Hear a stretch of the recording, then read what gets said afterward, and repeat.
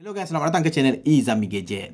So guys, ini adalah Oppo A96 dan ketika video ni dirakam, aku tak ada apa-apa lagi harga rasmi tentang peranti ni. Jadi pastikan korang stay tune pengumuman rasmi daripada Oppo Malaysia nantilah.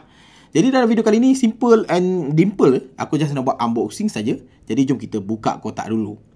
Jadi macam korang boleh nampak ini adalah kotak dia. Again typical kotak Oppo punya series lah, warna biru hitam macam tu.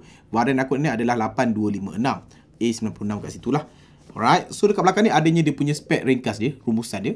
Yang pertama dia punya key selling point dia adalah dia mempunyai 33 watt SuperVOOC punya charger, 5000 mAh long lasting battery, 8GB plus 5GB extended memory ataupun extended RAM, 90Hz color rich punch hole display. Ini adalah dia punya key selling point lah. Dan ini adalah berwarnakan pearl pink, again 8256. Jadi jom kita buka kotak. Bismillahirrahmanirrahim. Jadi dekat dalam kita tengok apa yang ada. Alright, first thing first korang akan dapat sekotak putih ni. So kita keluarkan dahulu, kita tengok dekat dalam ni ada apa. First thing first, korang akan dapat punya SIM data tools.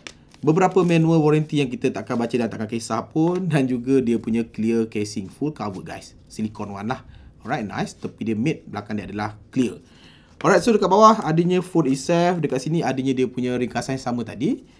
Kemudian dekat bawah lagi kita akan dapat dia punya kabel type A to type C dan of course Super VOOC 33 watt ni lah. Alright, Malaysia set, Malaysia punya kaki lah. Alright, nice. Alright, jadi kita letak tepi dahulu. Okay. So jom kita fokus on the device. Alright, kita buka kan. Bismillahirrahmanirrahim. Okay. So sampai-sampai tu kita boot up dulu. Okay guys, oh, so inilah belakang dia guys. Memang nice guys. Dia ada macam texture-texture tau. Dia tak ada texture lah. Dia ada macam corak-corak macam marble sikit macam tu. Dipanggil sebagai pearl pink macam tu kan. So nice lah. Bila korang pusing-pusing kan dia ada colour lah. Colour shifting macam tu sikit lah. Tapi finishing dia adalah matte tapi ini adalah plastik lah. So dekat sini korang akan dapat dua uh, kamera. Ada flash dekat situ. Ada dia punya kamera hum dekat situ. So far dia punya perasaan nice lah. Rasa mewah kat situ walaupun plastik. So dekat atas ni korang akan dapat dia punya microphone design macam ni frame dia. So dekat bawah korang akan dapat dia punya speaker grill, type C, microphone dan juga bicu audio. Alright, nice. So dekat sebelah sini korang akan dapat dia punya volume ke up and down dan juga dia punya SIM card tray. Kita akan buka kejap lagi. So dekat sini korang akan dapat dia punya on off button merangkap sebagai side mounted fingerprint. Dan ini adalah dia punya ah dan nak bateri. Ini adalah dia punya paparan ni lah. Ah, UI dia.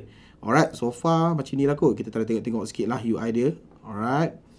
So dekat about phone ini adalah menggunakan color OS versi 11.11 Android 11. So ini adalah extended RAM dia tadi lah. Boleh sampai 5GB. So 8 plus 5 13GB lah quite banyak jugalah. Alright, so far begitu saja dia punya uh, ceritanya. Jadi jom kita buka dia punya SIM card tray. Kita nak try tengok dia punya SIM card slot dia berapa.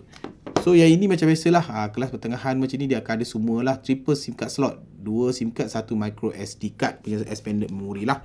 So bagi siapa yang nakkan expansion memory, this ada. Alright. So guys, uh, video kali ni memang unboxing saja. Nanti korang nantikanlah video ulasan penuh dekat YouTube channel Zami Gadget. Jadi pastikan subscribe bagi siapa yang tak subscribe lagi tu kan. Like, comment and share. so sampai bertemu lagi video akan datang guys. Macam biasa guys. Assalamualaikum.